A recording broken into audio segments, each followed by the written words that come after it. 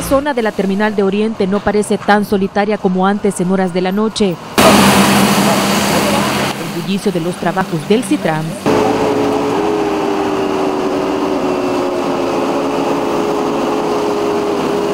beneficia a quienes a altas horas de la noche aún esperan el transporte colectivo en alguna parada improvisada.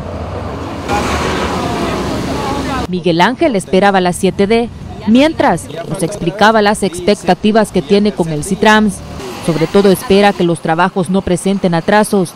Dice que debido al tránsito restringido, debe salir de casa a las 3 de la mañana para no llegar tarde a su trabajo. Levantarte más temprano, eso es lo que dicen ellos. Viaja desde Soyapango hasta Santa Tecla. En el trabajo lo que dicen es, te vamos a descontar el tiempo. Si llega tarde. Ellos, si llega tarde. Si ya falta otra vez.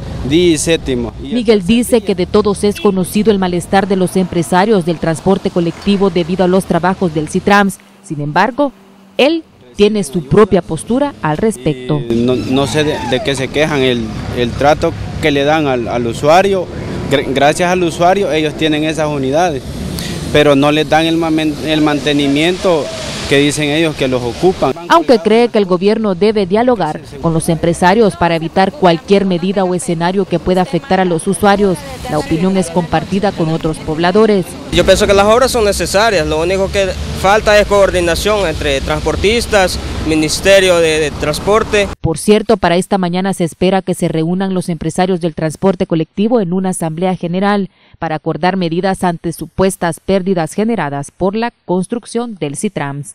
Linda Rivera, TCS Noticias.